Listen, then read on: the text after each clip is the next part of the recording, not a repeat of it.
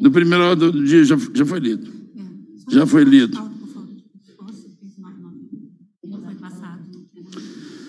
Ah, muito obrigado.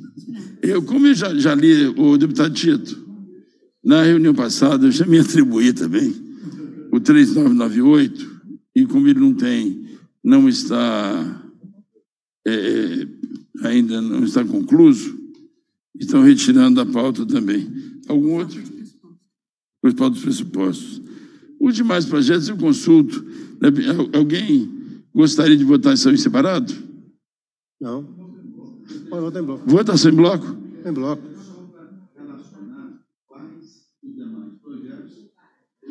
Farei a a leitura. Farei a leitura, apesar de que a leitura foi feita adequadamente, deputado Bexer, na reunião passada. Foi lido, mas é, é, é, é, confere, confere razão a Vossa Excelência para que não votemos nada sem, sem, sem ciência. Tá? Projeto de Lei 3814 2022 autoriza a abertura de crédito suplementar ao orçamento fiscal do Estado em favor da Defensoria Pública. Projeto de Lei 3852 de 2022 que altera o projeto 2270 de carreiras de técnico de Defensoria Pública e de analista da Defensoria Pública. Projeto de Lei 4037 de 2022 que fixe pessoal de revisão anual de vencimentos e proventos servidores do Poder Judiciário. Projeto de Lei 4054 de 2022, de 2022, que fixe pessoal relativo ao ano 2022 para revisão anual dos vencimentos e proventos servidores do Ministério Público do Estado. Projeto 4085 de 2022 dispõe sobre a revisão anual dos vencimentos e proventos do servidor do Tribunal de Contas do Estado referentes ao ano 2023. Ah, Esses são os projetos ainda da primeira fase da nossa reunião. Consulto aos senhores, aos- eh, são todos eles de, de minha, eh, de, de minha relatoria. Consulto aos senhores se concordam com a votação em globo. Votação em globo. Meus pareceres quanto ao redação final da matéria, de acordo com o aprovado em plenário. Senhores deputados que, é, que concordam, seus lugares. Aprovado. Estão todos eles aprovados. Agora, a segunda fase da ordem do dia. Projeto de Lei 4177, 2017, Projeto de Lei 1320, 2019, Projeto de Lei 2461, 2021, Projeto de Lei 2453, 2021, Projeto de Lei 2698, 2021, Projeto de Lei 3039, 2021, Projeto de Lei 3127, 2021, Projeto de Lei 3217, 2021, Projeto de Lei 3458, 2022, Projeto, se alguém quiser esclarecimento, é só solicitar. Não se preocupem, não se preocupem com a velocidade da leitura. O- a presidência está aberta ao esclarecimento de qualquer um deles. Projeto de Lei 3472 de 2022, Projeto de Lei 3556 de 2022, Projeto de Lei 3589 de 2022, Projeto de Lei 3654 de 2022, Projeto de Lei 3696 de 2022, Projeto de Lei 3760 de 2022. Senhores deputados, se quiserem esclarecimento sobre o conteúdo, a autoria ou qualquer outro aspecto, qualquer um dos projetos, pode se manifestar que a presidência abrirá. Em discussão. Em discussão, os pareceres, do, que são todos contêm a redação final da matéria, de acordo com o aprovado da limitação. Em discussão. Se alguns dos novos deputados quiserem discutir, permane- eh, pode solicitar. O- a votação será feita em globo. Se alguém quiser a votação em separado de qualquer um dos projetos, poderá solicitá-lo. Não havendo nenhuma solicitação, votação é em globo. Os senhores deputados que, permane que, que aprovem, permaneçam, permaneçam nos lugares aprovados.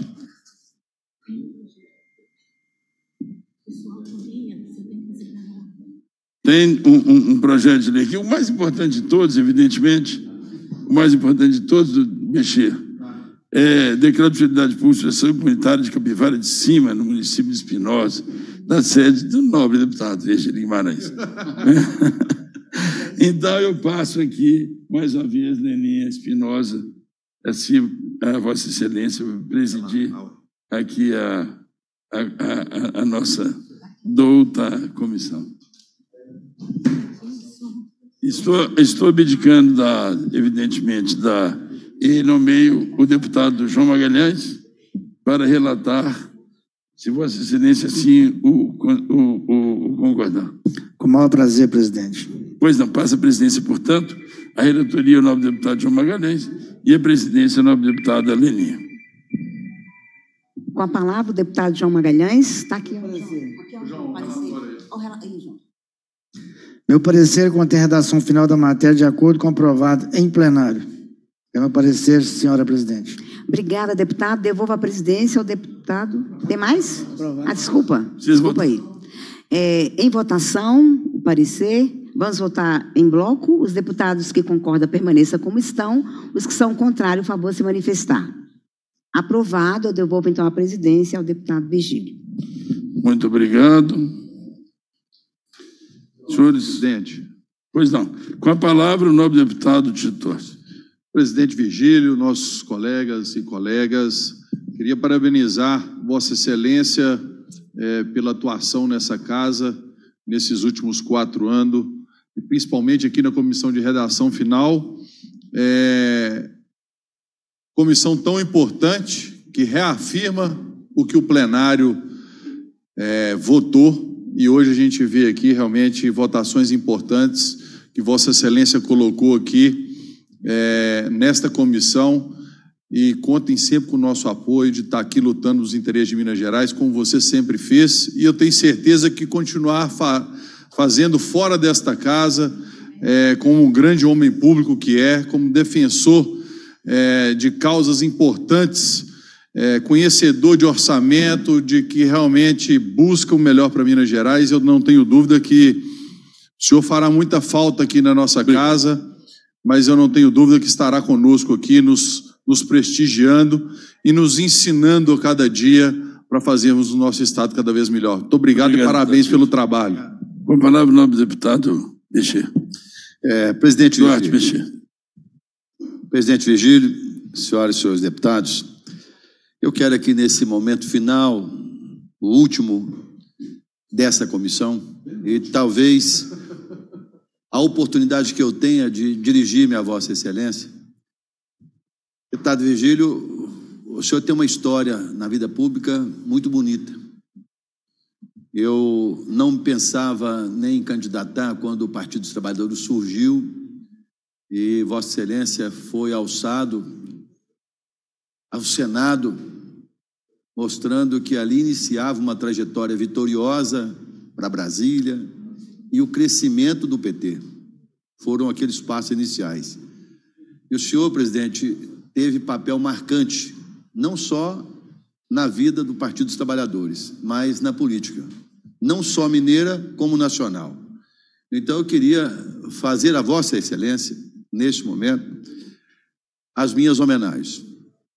Esse período que convivemos aqui na Assembleia pode até passar que não foi totalmente aproveitado, porque nós não tivemos muitas oportunidades, mas as oportunidades que tivemos, como a de hoje e outras tantas, que o senhor pôde se manifestar, se posicionar, muito nos ensinou.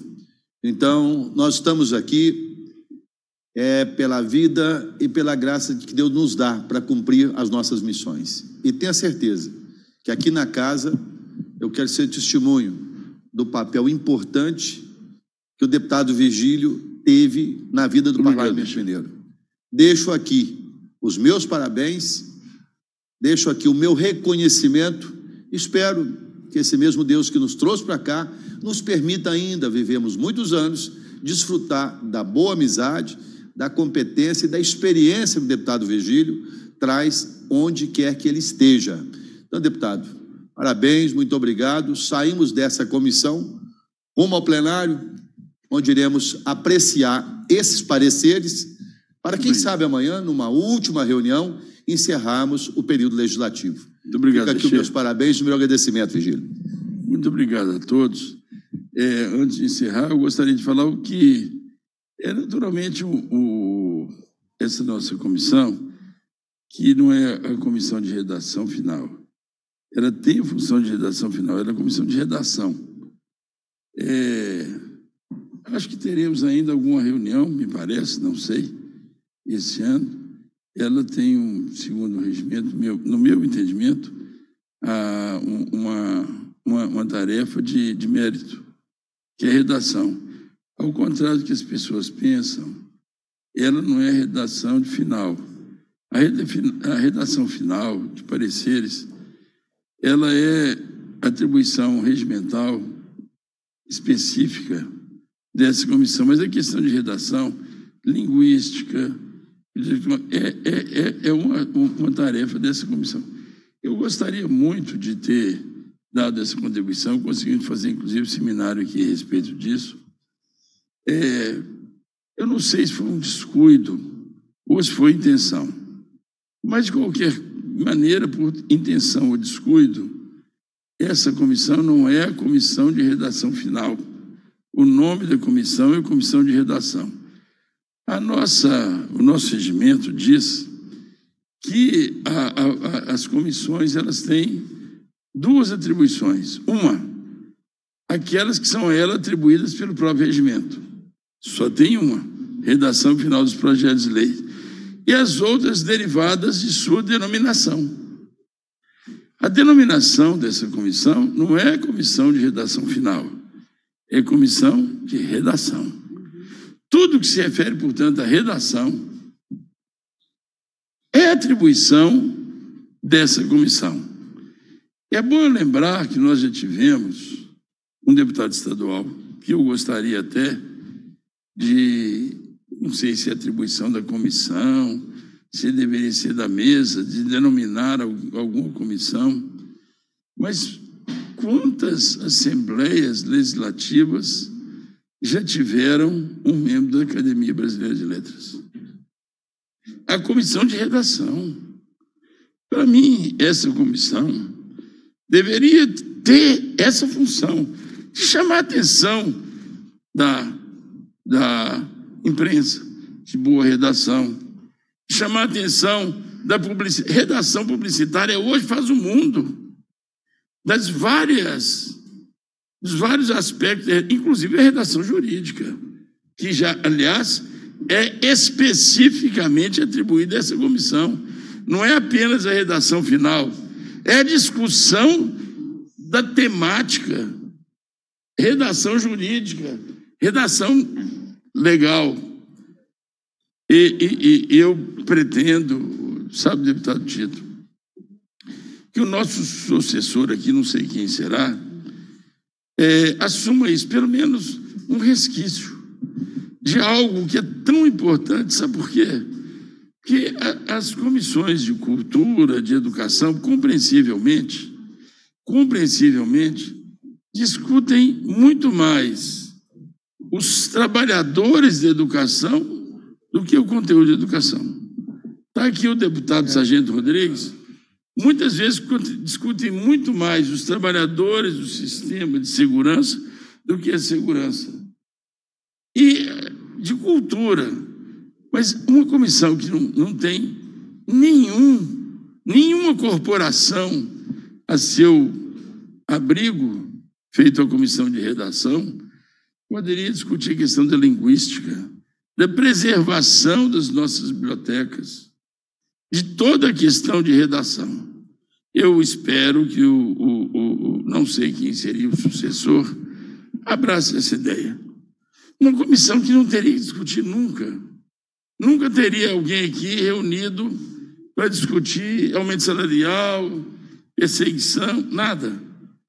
Mas seria a comissão mais puro sangue naquela atribuição que, por descuido ou não, repito, por descuido ou não, o regimento a conferiu. Ah, o assunto redação linguística é dessa comissão. Ela não tem um nome redação final. É atribuição que é dado a ela. Redação final dos textos legais. Mas a nossa Constituição diz que as comissões têm as atribuições definidas pelo regimento ou as derivadas de sua denominação. E a denominação daqui é redação, não é redação final de projeto de lei. Então eu queria dizer que pelo menos essa essa essa essa contribuição eu quero deixar aqui. Eu até gostaria muito que a nossa Assembleia, mas eu desafio demais, alguém teve um membro, um deputado estadual, membro da Academia Brasileira, o professor Begar Renault, foi deputado estadual. Um luminar, um professor, pouco lembrado como deputado estadual. Tal a sua dimensão na literatura. Mas ele foi, eu acredito, por orgulho nosso, deputado estadual. Portanto, eu fico grato de ter sido agraciado com a condição de presidente da Comissão de Redação da Assembleia Legislativa de Minas Gerais. Muito bem.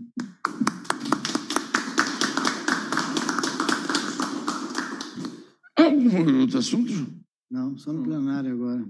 Então, não havendo mais. Cumprida a finalidade da reunião, a presidência agradece a dos parlamentares e determina a elaboratura da ata e encerra os trabalhos. Obrigado.